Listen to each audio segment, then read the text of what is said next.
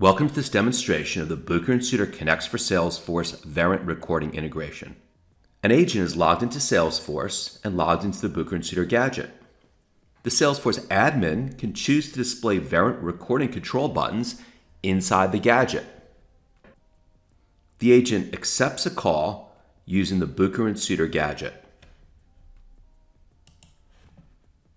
This is a test of Verint recording integration. The agent hangs up.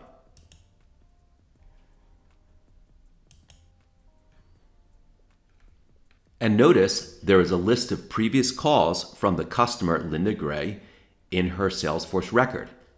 Connects for Salesforce creates an activity record in Salesforce for every call, both inbound and outbound, and populates these activities with information from Cisco and from what the agent did in the gadget. By creating and populating these call activities, Connects for Salesforce enables voice reporting in Salesforce. So a supervisor can now view Salesforce reports and dashboards of telephony data for every call.